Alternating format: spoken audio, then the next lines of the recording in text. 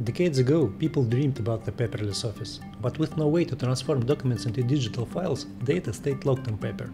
Then, in 1993, ABBYY freed this data with FineReader.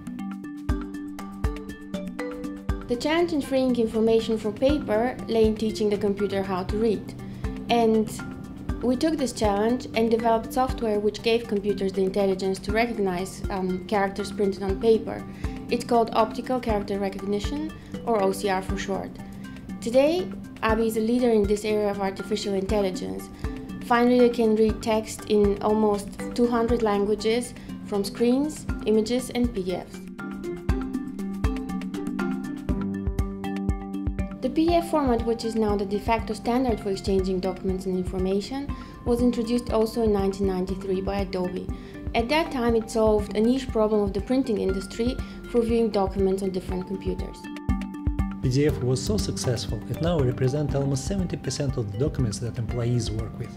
But just like with paper, people need to do things like edit, comment, filling forms, stamp, rearrange pages, and secure documents. So, we gave FineReader the power to let people do virtually anything with a PDF that they can do with paper.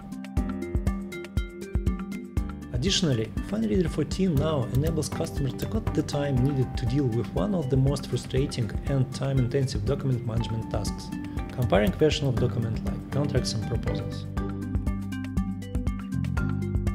Now, with a click, FineReader lets you compare two versions of documents in any format even scans, by immediately highlighting any changes.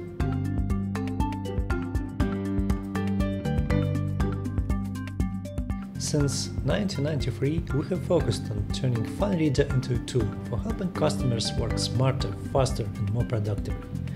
FineReader 14 has sharpened its focus even further